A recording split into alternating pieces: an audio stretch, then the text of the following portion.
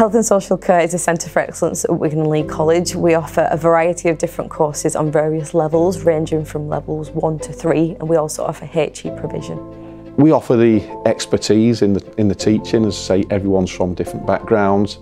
Some staff like myself are still involved with the emergency services, so the education's current and up to date.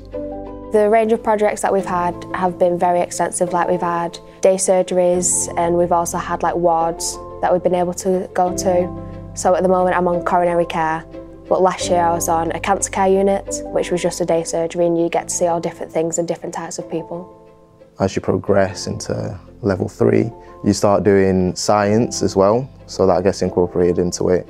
And you learn about biology, you learn about the human body, how it works. You know, we get given a project and we do experiments and it was a really good experience. All the teachers are amazing. Uh, they're always helpful. They're always there to like give you support if you need it. So typically our learners will go out on placement for one day a week. They will be assigned a mentor in that placement to work alongside them and to monitor the progress.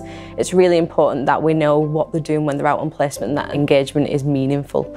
So we get them to fill out a placement booklet which monitors the progress, which tracks the skills that they build when they're out on placement. We have really close relationships with those mentors and they need to feedback with us on a regular basis as to how the learners are doing.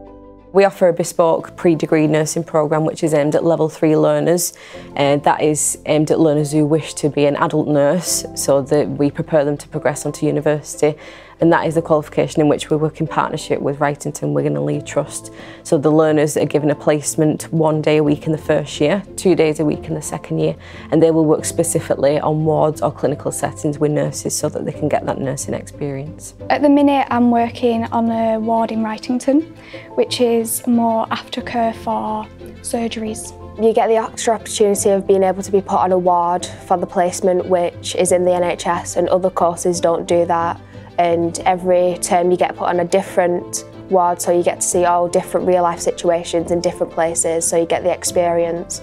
So then that's an extra boost when you get to university because they'll be looking at what you have done compared to other people. We also work with Wigan Council. We've had someone coming into the college to discuss about the social aspects. North West Ambulance Service, we've had them coming in as well and they spoke to our students. We offer outings such as a group did a lifeboat training exercise last year, so spent a day out on the boat doing various drills and managing trauma scenarios. Things like that that aren't usually college based, we take them out and do them in the natural working environment. Currently I work as a healthcare assistant in a care homes. When I'm at work, it's fun. Sometimes I assist the nurses when they're dealing with uh, nursing residents, you know, that have injuries I need tending to. We do a lot of enrichment for our learners, so we go on a lot of university visits. We do get taken on like university trips, so then we get to see like different places. We enter students who are showing their greatest ability to enter the World Skills competition. They submit a statement stating why they should be entered. We then work with them to enter the competition and they go through regional heats where they compete against the best in the country. Then they get whittled down to the final eight. We've had two into the UK finals and one got outstanding and was commended for a work. This allows them to demonstrate their knowledge and skills in front of industry experts from across the country. So as you can see in the ward, um, we've got a replica of hospital environment. So we have got the beds, we've got blood pressure machines. We also have uniform as well. I think it's the facilities that they've got here, the clinical ward, the clinical suite. It all helps to deliver realistic qualifications in a realistic environment. After college I plan to go to uni and study adult nursing, but I'm contemplating midwifery as well. I want to go to uni to either do uh, primary education or adult nursing.